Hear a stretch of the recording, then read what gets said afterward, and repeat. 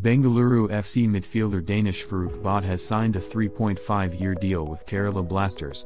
Kerala Blasters have paid approximately 25 lakhs transfer fee to Bengaluru FC to obtain his service. In 2021, Danish Farooq made a big step in his career by joining Bengaluru FC as a free agent. He had instant success with the Blues and soon became a key player in their midfield.